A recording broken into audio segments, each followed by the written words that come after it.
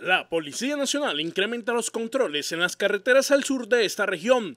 Es así como luego de aportes de fuentes humanas y constantes registros, en las últimas horas es detenida una persona con una importante cantidad de cocaína. La actividad policial se desarrolló en el kilómetro 4 tramo vial Agua Clara Ocaña, donde fue capturado la UN Jesús Coronel Ávila de 53 años momentos en que se movilizaba como pasajero en un vehículo clase camioneta de servicio público. Al solicitarle el registro a personas y a las maletas que dentro de estas habían, se encuentra una cava la cual en el interior tenía unos pescados motivo que llamó la atención de los uniformados debido a que en esta zona no se comercializa este tipo de alimento. Por lo anterior, se le manifiesta al ciudadano que se haría una inspección detallada de la misma, encontrando en el fondo 8 mil gramos de base de coca, avaluados en 24 millones de pesos. Ante esta situación, el ciudadano fue dejado a disposición de la Fiscalía Turno Uri de Aguachica por el delito de tráfico, fabricación o porte de estupefacientes.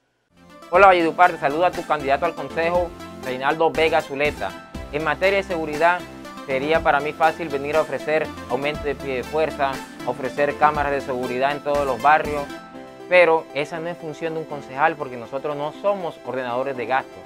Nuestra principal función es hacer control político y me comprometo que del Consejo Municipal de Valledupar citaré a un debate o a lo que sea necesario sobre la seguridad y en ese debate propondremos la, Secretaría de Seguridad y Convivencia Ciudadana.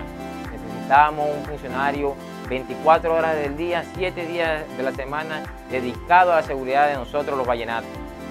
Queremos volver a ese Valledupar de antes, donde nos sentábamos en las puertas de nuestras casas sin miedo a ser atracados, donde nuestros niños y niñas jugaban a, a kimball, a Jerwin, a los diferentes deportes y juegos que nos gustan a nosotros los vallenatos. Por eso este 27 de octubre te invito a marcar en el tarjetón el partido de la U y el número 5 al Consejo Municipal de Valledupar.